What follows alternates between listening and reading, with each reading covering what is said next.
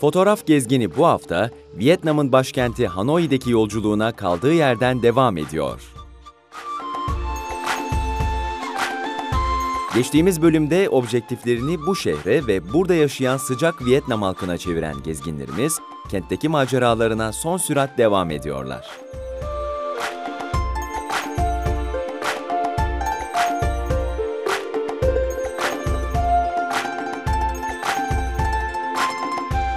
Şehrin görülmeye değer yerleri ve yemyeşil Hoan Kiem Gölü çevresinde yapacağımız keşfin yanı sıra, Vietnam Savaşı'nın canlı tanıklarıyla gerçekleştirdiğimiz çok özel röportajlar az sonra bu ekranda sizlerle birlikte olacak.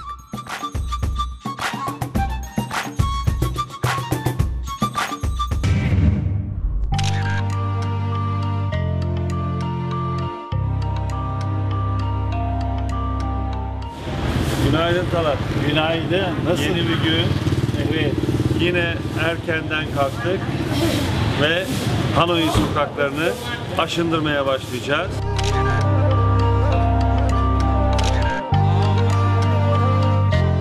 Ee, gördüğünüz gibi Hanoi'liler sokak kenarlarında e, meyve standlarını hazırlamaya başladılar. Bugün bir misafirimiz var. Lan geliyor. Luang Prabang'daki otelin sahibinin kuzeni bugün bize eşlik edecek, tercümanlık yapacak ve Hanoi'yi daha iyi keşfetmemize yardımcı olacak. Hadi, hadi gidelim.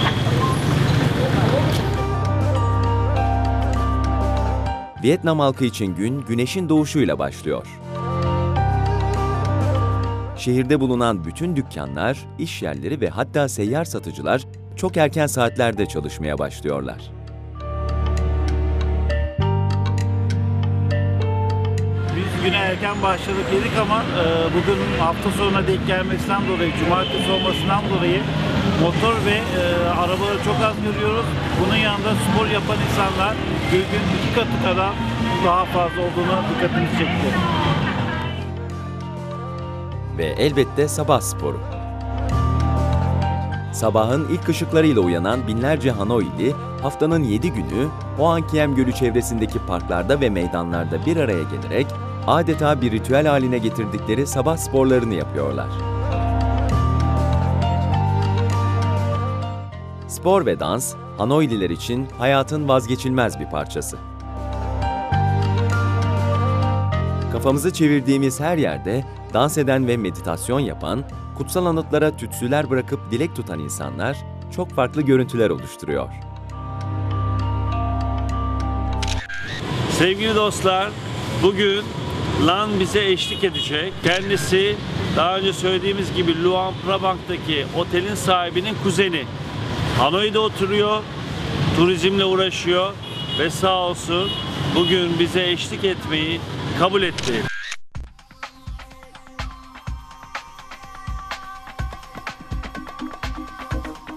Gezginlerimiz Hanoi sokaklarındaki gezilerine bisiklet taksiler siklolarla devam ediyorlar.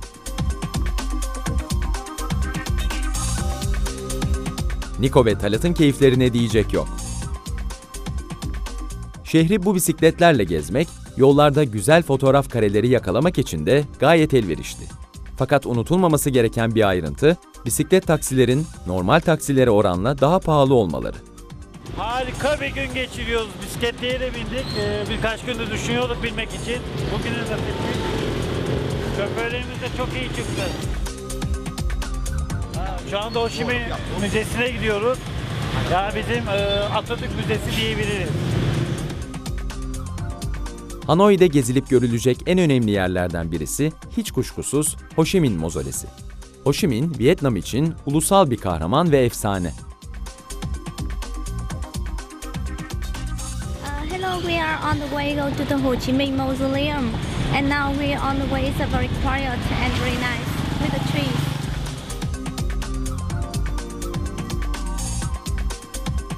Sevgili dostlar şu anda Ho Chi Minh Mozolesi'nin önündeyiz. Biraz önce gezdik. Ee, bu arada bizim e, Lan'ın e, babaannesi hastaneye kaldırıldığı için acilen bizi terk etmek zorunda kaldı.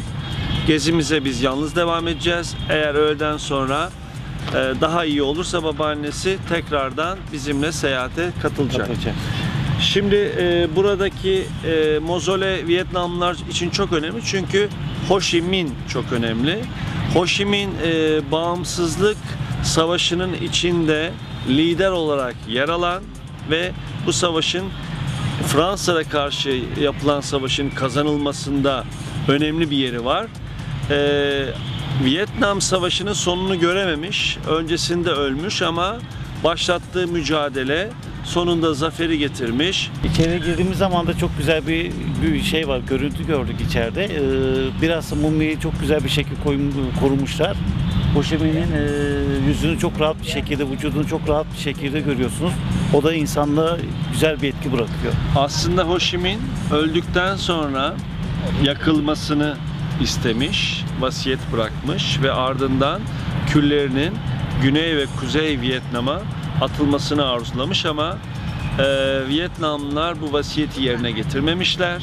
Ho Chi Minh'in bedenini mumyalamışlar ve bu bedeni burada sürekli olarak görebilmek mümkün. Yani buraya bizim biraz daha küçük Anıtkabir diyebiliriz yani. Ho Chi Minh, ulusal bir kahraman ve efsane. Ülkeyi Fransızlardan kurtarıp hürriyetine kavuşturmasının yanı sıra modern Vietnam'ın kurucusu. Mozolenin çevresinde çok güzel ve geniş ağaçlıklı alan içinde Ho Chi Minh'in özel eşyalarının sergilendiği bir de müze bulunuyor.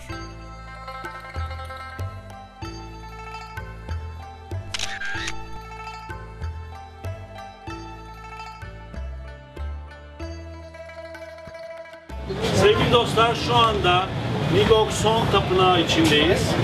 Bu tapınak 13. yüzyılda Vietnamların Moğollara karşı kazanmış oldukları zaferin anısı üzerine yapılmış.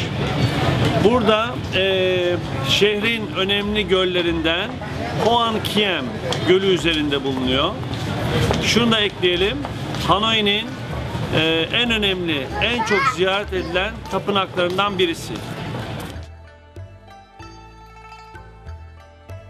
Tapınağın her tarafı birbirinden etkileyici çizimler, kabartmalar ve heykellerle dolu. Budizm mirasının en güzel örneklerini taşıyan tapınaklar şehrin her yanına serpilmiş durumda.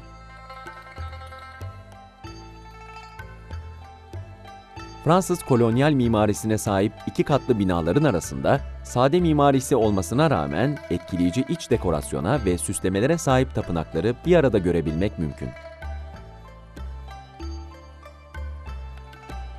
Bu muhteşem yapı her yıl yüz binlerce ziyaretçiyi ağırlıyor.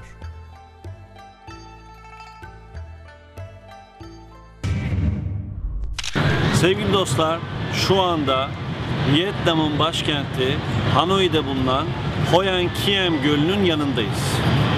Bu göl önemli. Bu gölün çevresinde e, Vietnamlılar çok erken saatlerde kalkıp spor yapıyorlar, e, dolaşıyorlar, e, birbirleriyle vakit geçiyorlar ve dans ediyorlar. Bu göl bizim için başka bir anlam daha taşıyor. Bu gölün çevresinde biz yaşlı insanlarla tanıştık. Onlarla sohbet ettik. Ee, şu anda Ha amcayla beraberiz. Gölün çevresinde dolaşırken kendisiyle tanıştık ve kendisi iyi Fransızca biliyor. Şu anda Hanoi'deki hayattan, kendi yaşantısından, yaşamış olduklarından biraz sohbet etmek istiyoruz. Donc, bonjour. Bonjour, Comment allez-vous? comme ci comme ça, Comment vous vous appelez? je m'appelle Ha. Et quel âge avez-vous? J'ai plus de 87 ans. Bravo. Et vous vivez à Hanoï, c'est votre ville natale, Hanoï? Oui, c'est ma ville natale. J'aime beaucoup Hanoï. Nous aussi, on a beaucoup aimé. C'est une très belle ville. J'aime Hanoï. Je suis pas venu en Turquie, mais j'aime aussi la Turquie. Merci. Donc, est-ce que vous pouvez nous raconter un peu vos années d'enfance? Euh, Lorsque j'étais tout petit, la ville d'Hanoï était très belle. Il y avait peu de population, mais c'est bien couvert. C'est une ville très couverte, beaucoup d'arbres. Et le petit lac est très joli. Pendant quatre euh, saisons, il y a toujours des fleurs. J'ai passé mon enfance ici. J'ai passé mon âge d'adulte. Sevgili dostlar, şu anda iki yaşlı teyze ile beraberiz. Ee, kendilerine bazı sorular soracağız. Onlar da bizi görünce çok heyecanlandılar, konuşmak istediler. Ee, now I would like to ask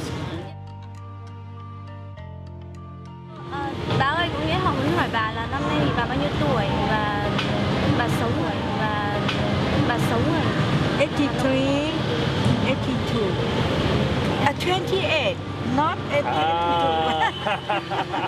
không vì lý, ờ, cái đấy thì khách ý đang muốn hỏi là bà sinh ra ở Hà Nội. She was born, she, was, uh, she says that she was born in Hanoi and she lived in Hanoi a long time ago.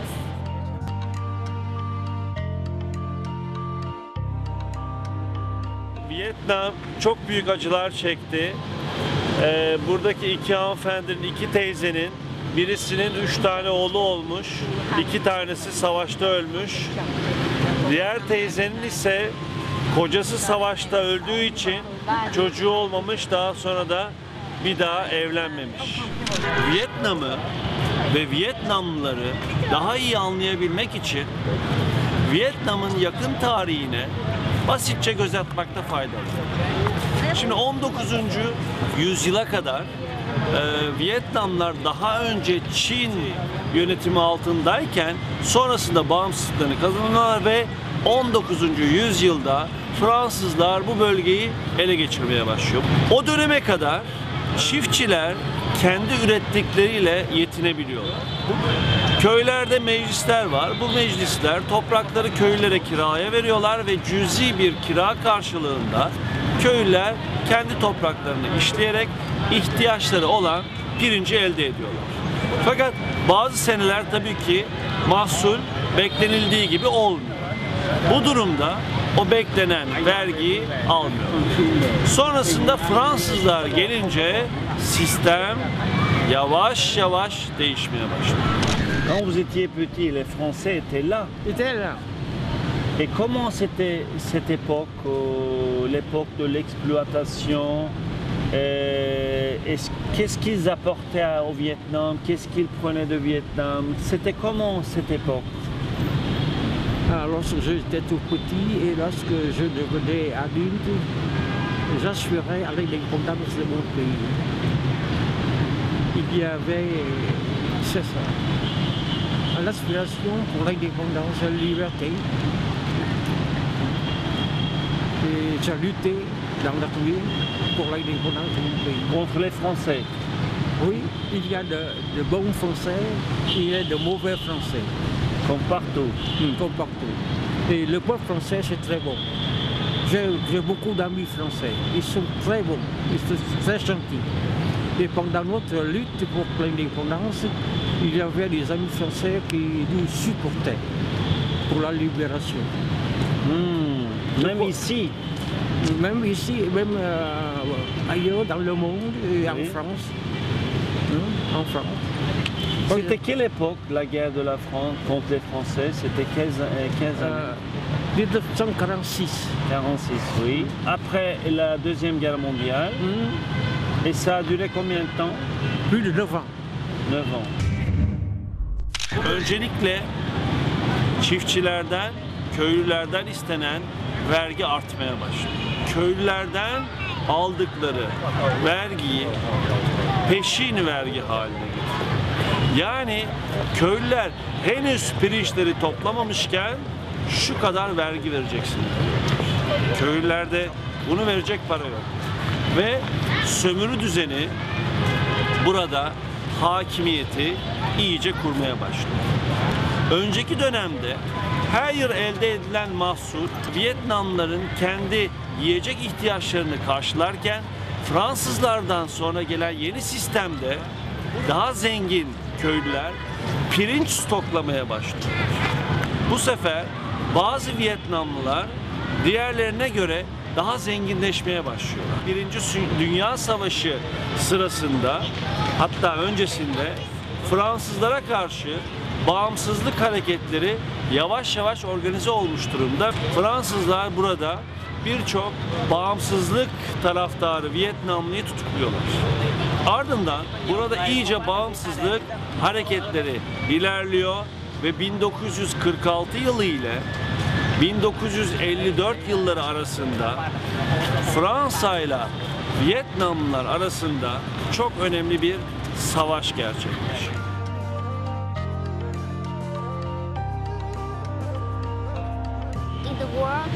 He's uh, he's had three children, and it's a very small. And when in the war, he had to go to work in the office and not uh, stay with the children. And uh, at that time, the children was uh, will be take care of uh, some the the girl or the lady in the school. But uh, it's unlucky because we they have in the war, so the the people with the, through the um, the bombs so the two people die, two the children die, and now the she just only got one the children, and now he's who about the uh, he's uh, he's about uh, 50 years old, and now she stay just only with mm, with him. Pourquoi, comment vous avez pris la décision de vous engager dans l'armée C'était obligatoire ou? Euh, non, non, c'est euh, c'est volontaire. C'était des euh, soldats volontaires. Dans le Oui. temps, il y a une obligation morale pour le pays. Je suis engagé dans l'armée pour la libération du pays. C'est l'aspiration pour la liberté, l'indépendance et la justice. Et qu'est-ce que vous faisiez à cette époque-là, avant de vous engager? J'étais étudiant en médecine. Médecine. Et vous avez quitté les études? J'ai presque fini mes études de médecine. Et je suis, je suis de- devenu chirurgien de l'armée. J'opérais et je, je soignais les blessés dans le nord. dans le nord. Et il y avait beaucoup de bombardements à cette époque-là, à l'époque de la, euh, contre les Français, je parle. beaucoup de bombardements. Il y a beaucoup de batailles. J'ai assisté à la bataille de libération de la route numéro 4, libération de la frontière du Nord. Et J'ai combattu pour que libérer euh, le, le fort d'Angkhe. Euh, j'ai- libéré, j'ai opéré, j'ai soigné. Et j'ai assisté à la bataille de 2000 fous aussi. Bien, bien pour. Oui. J'ai opéré jour et nuit. Mais j'ai sauvé beaucoup de vies. À cette époque-là, vous y, vous y croyez à la, à la victoire. hein? Oh oui, crois bien à la victoire. La victoire finale, c'est pour les Vietnamiens. Bu savaş Dien Bien Phu'da sona eriyor. Orada savaşı Vietnamlar kazanıyorlar ve özgür bir ülke için yola çıkıyorlar. Ardından Cenevre'de barış görüşmeleri gerçekleşiyor ve Amerika'nın da olaya artık dahil olmasıyla Vietnam ikiye bölünüyor. Kuzeyde komünistlerin e, başta olduğu bir e, devlet, güneyde ise Amerikalıların desteğiyle Güney Vietnam kuruluyor. E, sonrasında kuzeydeki Kuzey Vietnam bu statükoyu korumaya razı. Ama güneydeki köylüler buna razı değil. Ve güneyde bir gerilla savaşı başlıyor. Güney hükümetine karşı.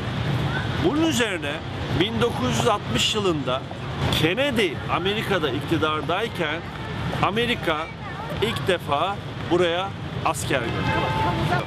Amerika'nın Vietnam'ı bu kadar önemsemesi ve buraya girmesinin eee, sebeplerinden birisi de Amerika'da sosyalizm ve sendikaların yavaş yavaş güçlenmesi. 1963 yılında Kennedy Vietnam'dan çekilmemiz gerekiyor düşüncesine sahip oluyor ama 1963 yılında bir suikaste kurban gidiyor.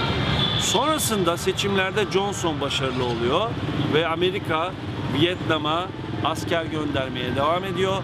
Gittikçe daha fazla asker ve Amerika'nın asker sayısı 500 bine ulaştıktan sonra bu bölge inanılmaz bir savaş alanına dönüyor. Milyonlarca insan ölüyor, milyonlarca insan yaralanıyor.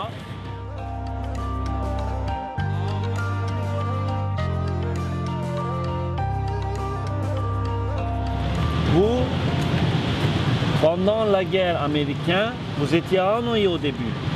Oui, Et quand vous êtes retourné de la guerre euh, contre la France, vous avez commencé à travailler ou vous- étiez toujours dans l'armée? Euh, J'étais dans l'armée et puis après, euh, la- euh, la- après 54, euh, je- je- j'enseignais à la faculté de médecine. D'accord. Et après, la guerre américaine a commencé en 60. Lorsque les Américains commençaient la guerre contre le Nord, j'étais encore dans la faculté. Oui. Et, euh, j'opérais euh, les blessés de Hanoï, euh, les blessés des bombardements en- américains. J'ai opéré pendant 9 jours et 9 nuits de suite. J'ai pris une petite somme comme ça. J'ai opéré dans la salle d'opération sur terre, pas dans les, les abris. Et les, les portugais, est tout près de, de mon hôpital. Ah, j'ai quitté à Noël en certain temps pour venir opérer euh, dans le sud. Lorsque commençait la guerre, je pensais que les, vainqueurs seront nous. J'ai une conviction que nous gagnerons la guerre. Parce que c'est tout le peuple du Vietnamien qui se soulève et qui prennent les armes. Il a l'unification euh, de l'esprit. Amerika'nın istediği başarıyı elde edememesinin bir sebebi daha var. Bu bölgeden dünyaya ulaşan bazı fotoğraflar, bazı bilgiler e, bütün dünyayı ayağa kaldırıyor ve Amerikan hükümeti daha farklı düşünmeye başlıyor. Johnson'dan sonra Nixon savaşla ilgili çözümüm hazır diyerek Amerika'da iktidara geliyor ama bir şeyi değiştirmiyor ve hatta 1970 yılında Amerika Kamboçya'ya gidiyor. Ama bu dünyadaki savaş karşıtı protestoların artık iyice güçlenmesine yol açıyor. Amerika'da protestolarda polis 4 tane öğrenciyi öldürüyor ve bütün dünya ayağa kalkıyor. 1973 yılında artık Amerika yapacak bir şeyi kalmadığını anlıyor ve bütün askerlerini bu bölgeden çekiyor. Biz burada eee, mutlu insanlar gördük, mutlu insanlarla konuştuk. Yaşlı Vietnamlılarla sohbet ettik. Her biri bir tarih kitabı. Konuştuğumuz hiçbir Vietnamlı şu anda hiçbir kimseye karşı bir kin beslemiyor. Hepsi olanları geçmişte bırakmışlar ve geleceğe bakıyorlar. In fact, I can tell it's a not good life in the world. But now maybe the in Viet, the, the Vietnam is a better and everything is improved. So that's why maybe they feeling is a happy more because now is Vietnam is a peace, not a war place. Nous venons nous progressons, nous progressons, nous devenons l'ami de tous les peuples. Nous progressons petit à petit malgré les difficultés. Je sens que nous avons euh, l'indépendance et la liberté et nous avons l'amitié de de nos- tous les peuples, amitié. Euh, Amis sont nos amis. Uh, with English, English language, uh, for, for her a, the English is very poor. But for the children, uh, he teach is a very good.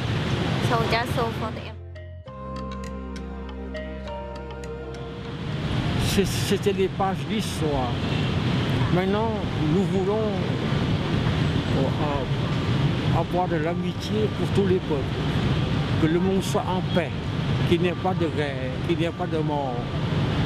J'ai fait la guerre, je connais les, les atrocités de la guerre et les douleurs, les malheurs que souffre la population civile. Je souhaite qu'il n'y ait pas de guerre sur, sur notre terre, sur notre terre ici. Qu'est-ce que vous connaissez de la Turquie? Ah, euh, je lis certains romans de la Turquie traduits. traduits. Il y a un, un, un grand romancier, Sinetessil. Je lis. Je lis quelque part. Comment il s'appelle? Ah, Sinetessil. Aziz Nesin Yaşadıkları onca kayıp, üzüntü ve hayal kırıklığına rağmen yine de hayata karşı umutlarını ve inançlarını kaybetmeyen bu sıcak insanların yüzlerinde savaşın, şiddetin ve acının etkileri kalıcı izler bırakmış. Maalesef dünyada milyonlarca insan bu anlamsız savaşlar yüzünden can veriyor. Milyonlarcası yaralanıyor, evsiz kalıyor, tecavüze uğruyor. Umarız dünya bundan sonra daha huzurlu ve barış içinde insanın insanca yaşadığı bir yer olur.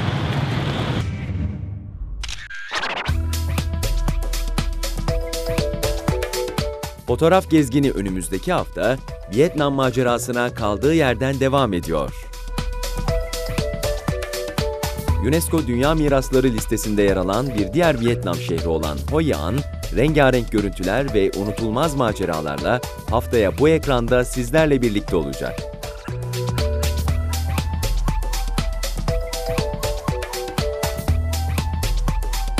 Fotoğraf gezginini kaçırmayın.